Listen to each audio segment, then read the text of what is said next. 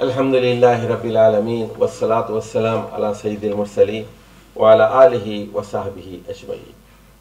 آج ہم بات کرتے ہیں حضرت یوسف علیہ السلام والسلام کی توحید کے بارے میں۔ آپ جانتے ہیں کہ حضرت ابراہیم کا زمانہ دو ہزار ایک سو قبل مسیح ہے اور ان کے بیٹے حضرت اسحاق کا زمانہ غالباً دو ہزار قبل مسیح ہے اور حضرت یعقوب، حضرت یوسف کا زمانہ غالباً انیس سو قبل مسیح ہے۔ تو حضرت یوسف کو ان کے بھائیوں نے کنویں میں ڈال دیا تھا، پھر ایک قافلہ ان کو مصر لے جا کر وہاں فروخت کر دیتا ہے اور پھر وہ جیل میں پہنچ جاتے ہیں جب ایک خاتون انہیں دعوت گناہ دیتی ہے اور وہ انکار کر دیتے ہیں اب وہ جیل میں دیکھیے توحید کی دعوت دے رہے ہیں۔ اور وہاں وہ کہتے ہیں، یہ سورہ یوسف کی تین آیات ہیں۔ غور سے، توجہ سے سنیے۔ آیت نمبر اڑتیس، انتالیس اور چالیس، سورت یوسف۔ وہ کہتے ہیں وَتَّبْعَتُ مِلَّةَ آبائی ابراہیم و اسحاق و یعقوب تو میں نے تو پیروی اختیار کر لی ہے اپنے باپ دادا کے طریقے کی۔ ملت آبائی۔ حضرت ابراہیم کے طریقے کی پیروی، حضرت اسحاق کی اور حضرت یعقوب کی۔ یعنی اپنے والد یعقوب، اپنے دادا اسحاق اور اپنے پردادا ابراہیم۔ ما کان لنا ان نشرک باللہ من شیء۔ ہمارے لیے زیبا نہیں ہے، ہمارا ایک خاندان ہے، انبیاء کا خاندان ہے۔ باپ بھی، دادا بھی، پردادا بھی پیغمبر اور میں بھی پیغمبر۔ تو ہمارے لیے جائز نہیں ہے۔ ما کان لنا ان نشرک کبھی کہ ہم، ہمارے لیے زیبا نہیں ہے، جائز نہیں ہے کہ ہم اللہ کے ساتھ کسی کو شریک کریں۔ ذالک فضل، ذالک من فضل اللہ علینا وعلی الناس، ولیکن اکثر الناس لا یشکر تو فرمایا کہ یہ اللہ تعالیٰ کا ہمارے خاندان پر خاص فضل ہے کہ ہم توحید کی دعوت ساری دنیا میں پھیلاتے رہے ہیں ہمارے والد تو عراق اور فلسطین اور مصر اور مکہ، یہ سارے علاقوں میں توحید کی دعوت عام کرتے رہے، ہمارے خاندان پر اللہ کا خاص فضل و کرم ہے اور لوگوں پر بھی کہ جن کے ذریعے ہمارے ذریعے ان کو توحید کی ہدایت ملی ہے۔ لیکن پھر اکثر لوگ ایسے ہیں جو اللہ کا شکر ادا نہیں کرتے اور وہ مشرق بن جاتے ہیں۔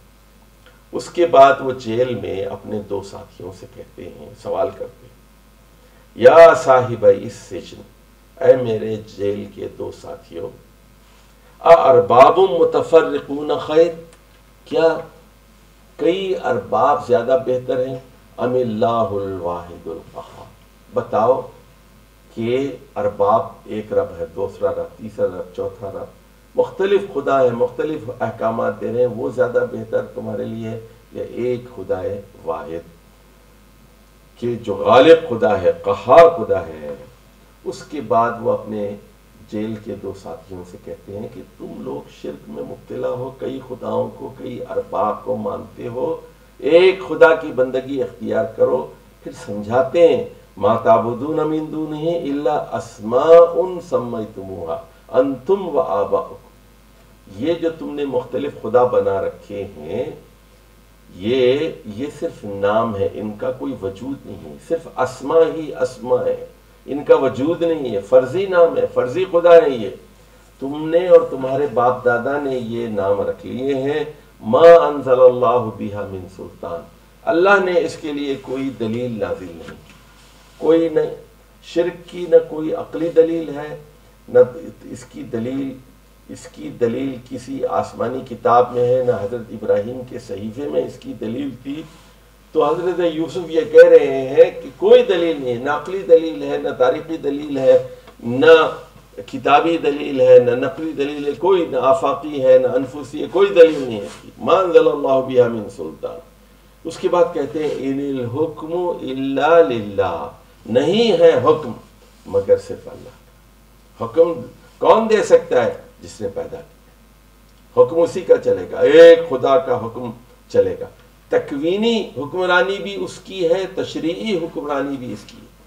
ہواؤں پر اس کی حکومت ہے، چاند پر اس کی حکومت ہے، سورج پر اس کی حکومت ہے، بادلوں پر اس کی حکومت ہے۔ یہ تو اس کا تکوینی نظام ہے، تکوینی فرما روائی ہے۔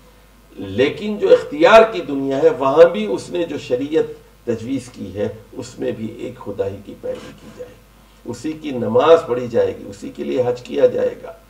وہ عتیم الحج عتیم الحج عتیم الحج عمرت والحج والعمرت للہ وعتیم الحج والعمرت للہ فصلی لربک ونہا فصلی لربک ونہا اللہ ہی کے لیے نماز پڑھو اور اللہ ہی کے لیے قربانی کرو تو ہر کام اللہ کے لیے کرنا ہے اسی کا حکم چلے گا یعنی اسی کے حکم کے مطابق ہم شادی کریں گے اسی کے حکم کے مطابق ہم والدین کی عزت کریں گے احترام کریں گے اسی کے حکم کے مطابق ہم بیوی کو، بچوں کو، معاشرے کو، پڑوسیوں کو، رشتہ داروں کو ان کا حق ادا کریں۔ گے اسی کے حکم کے مطابق ہم زکوٰۃ دیں گے، مسکینوں اور یتیموں کا خیال کریں گے۔ اسی کا حکم ہے۔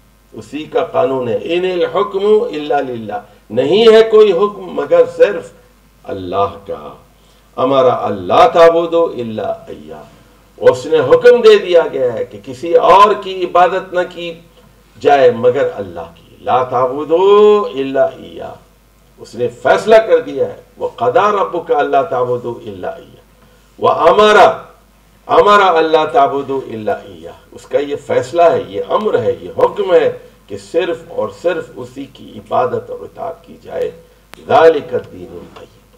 یہ ہے صحیح طریقے عبادت۔ یہ ہے صحیح طریقے دین۔ یہ ہے صحیح طریقے اطاعت۔